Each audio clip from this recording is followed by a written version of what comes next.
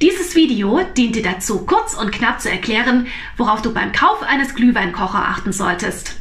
Unten in der Videobeschreibung findest du den Link zu unserem ausführlichen Kaufratgeber mit Produktempfehlungen auf kochenmitgenuss.org.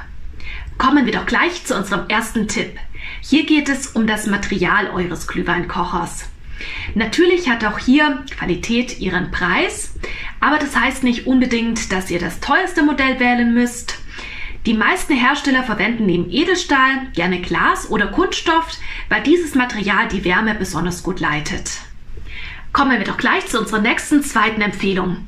Ein Temperaturregler ist sehr sinnvoll, weil man damit die verschiedensten Heißgetränke punktgenau zubereiten kann. Tipp Nummer drei: Auch die Größe eines Glühweinkochers ist sehr wichtig. Es kommt darauf an, wie viele Leute ihr bewirten wollt. Für den gewerblichen Gebrauch eignet sich Kessel mit einem Fassungsvermögen bis zu 30 Litern. Für den privaten Haushalt reicht ein Kessel, der um die 8 Liter fasst. Kommen wir doch gleich zu unserer nächsten vierten Empfehlung. Für Glühweinkocher gibt es auch praktisches Zubehör. Zum Beispiel Glühweinkocher mit Zapfhahn.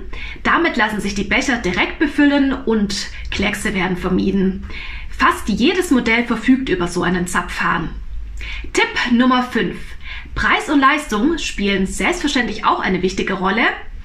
Glühweinkocher mit Gas oder elektrisch kosten so ungefähr zwischen 25 und 90 Euro. Kommen wir doch gleich zu unserer nächsten sechsten Empfehlung.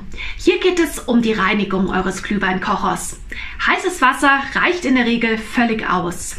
Nur der Alkohol kann eine schädliche Wirkung auf das Material haben. Deshalb sollte man den Glühweinkocher nach jedem Gebrauch reinigen. Mehr Infos zum Thema Glühweinkocher bekommt ihr auf unserer Website kochenmitgenuss.org. Dort informieren wir auch über aktuelle Tests von verschiedenen Verbrauchermagazinen. Und falls ihr unseren YouTube-Channel abonniert, würden wir uns wirklich sehr freuen.